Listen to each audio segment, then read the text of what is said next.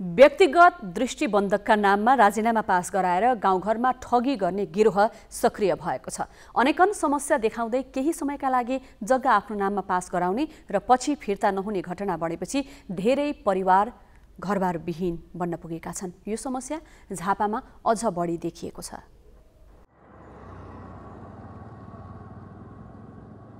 आफूसँग एक दूर पनि जग्गा नभएपछि झापाको भद्रपुर स्थित देउनिया खोला किनारको ऐलानी जग्गामा बस्ने धनेन्द्र लिङदेन ठूलो सपना बोकेर वैदेशिक रोजगारीमा गए। मलेसियामा दस वर्षसम्म दुःख गरेर बिर्ता मोडमा एक कट्ठा जग्गा जोडे तर उपभोग गर्न नपाउँदै उनी सुकुम्बासी बन्न पुगेका छन्। नेपाल फर्किएपछि धनेन्द्र बिरामी परे। छोरा सरोजले बुबाको उपचारका लागि रकम जुटाउन जमिन दृष्टिबन्धक धितो राखेर मोरङ्की असारी लिम्बूसँग दुई हजार त्रिहत्तर पुस सत्र गते चार लाख रुपियाँ लिए। सरोजको नाममा रहेको सो जग्गा सोही दिन असारीको नाममा राजीनामा पास गराएको भेटिएको छ। असाइडले सो जग्गा ललितपुरकी मन्जु अधिकारीलाई बेचिसकेकी छन्। हाम्रो नाममा त जग्गै छैन नि।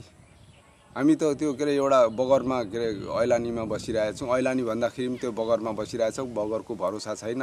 हामी सालै पछि के अरे डुबान क्षेत्र छ। त्यो त्यहाँ पुलिसहरू उद्धार गर्नु आउँछन्। बेला बेलामा त्यो नदी कटानभित्र बसेका छौँ हामी। झुपडी बनाएर। अस्ति एकचोटि अब त्यहाँ पनि साथीहरू आएर चाहिँ यसो हेर्नुभयो र हाम्रो घर कस्तो ठाउँमा छ भने मैले पनि उहाँहरूलाई भनेर पठाएको थिएँ मैले। अब घर उसले पनि आएर मेरो घर हेरेर ए दाईको निकै यस्तो भएको रहेछ भन्ने कुरो उसैले आफैले पनि हेरेर गएको छ। अब हामीले चाहिँ अब यस सम्बन्धीमा चाहिँ के कसो गर्दा हुन्छ हामी सकेसम्म चाहिँ यसलाई छिटोभन्दा छिटो नै के अरे उ गर्नु पाए हुन्थ्यो भन्ने चाहिँ हामीले सोचेका छौँ। यस्तै झापाको दमकमा सनदबहादुर धिमालको चार कट्ठा जग्गा र घर थियो।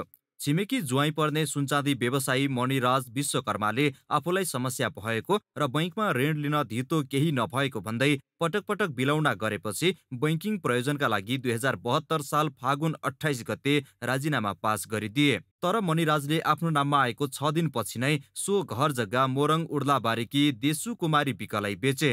जनप्रतिनिधि समेतको उपस्थितिमा दुई हजार अठहत्तर साउन चार गते देसु कुमारले सनतलाई जग्गा फिर्ता गर्ने सहमति गरिन् तर अहिलेसम्म गरेकी छैनन्। मलाई अहिले समस्या भने परिवारमा मेरो छोरालाई पढाउन पाइनँ मैले त्यही जग्गा राखेर डक्टर पढाउने विचार गरेको थिएँ मैले। त्यो छोरालाई म मैले पढाउनु पाइनँ। अहिले आएर हामीहरू सब पुरै परिवारलाई समस्या समस्या परिरहेको छ। कतै आउने बाटो छैन। झापाको हल्दीबारीका सुरज माङ्मुले दुई वर्षको म्याद राखेर एक बिघा दुई कट्ठा दस दूर जग्गा धितो पास गरिदिने शर्तमा काठमाडौँका पुरुषोत्तम मानन्धरसँग नौ लाख रुपियाँ ऋण लिए।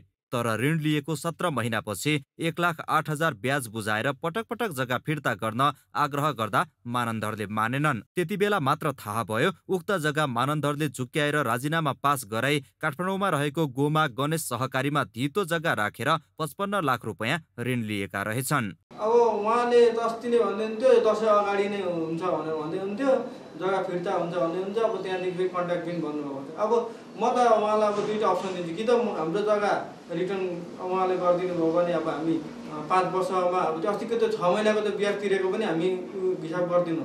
अब त्यो पाँच वर्षसम्म अब दुई रुपियाँ ब्याजले भनेपछि भने उहाँले।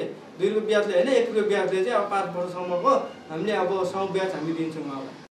यसरी व्यक्तिगत दृष्टिबन्धकका नाममा राजीनामा पास गराएर गाउँघरमा ठगी गर्ने गिरोह सक्रिय भएको छ। यसले जग्गाधनी रातारात सुकुम्बासी बन्ने स्थिति सिर्जना भएको छ। ग्यालेक्सी फोकेका लागि झापाबाट नारायण अर्यालको रिपोर्ट।